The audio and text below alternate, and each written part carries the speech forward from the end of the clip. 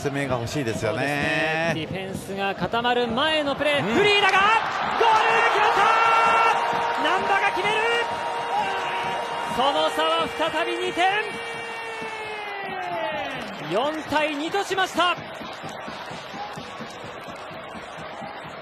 やはり難波は決めますね。そうですね。狙ってますよね。はい。先ほどはオフサイドにもなりましたが一度ゴールネットを揺らしそして今度こそゴールその点差を2点と縮めています。